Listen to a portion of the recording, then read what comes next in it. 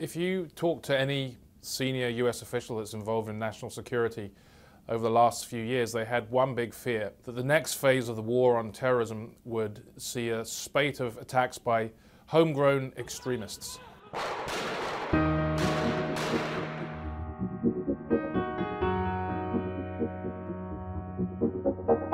We don't know all the details yet of this attack in France, but it appears to be have been conducted by those kind of homegrown extremists. An Australian man, self-radicalized uh, imam, who seized a cafe in Sydney uh, last month and killed two people uh, at the end of a siege before he was killed by police. At the end of 2014, in Ottawa, the Canadian capital, which is not a place you sort of associate with terrorism. A man who is sort of a self-proclaimed jihadist killed a soldier standing guard at the uh, war memorial.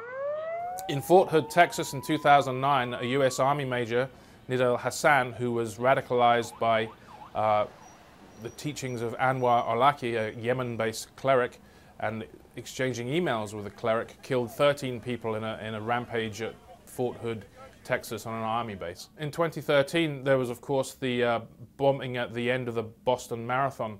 Also in 2013, on the streets of London, there was a horrific attack on a, a British soldier by two uh, radicalized Muslims who said they were acting in the name of jihad. And the great fear that officials have about this kind of terrorism is that it's very difficult to detect. There are lots of experts who worry that it's only really a matter of time, either until there's a large-scale attack by a, either a lone wolf terrorist in the United States who's inspired by Islamic radicalism overseas, or by one of these European extremists who manages to evade uh, security procedures and intelligence, no-fly lists, that kind of stuff at airports and gets into the United States and can conduct some kind of attack.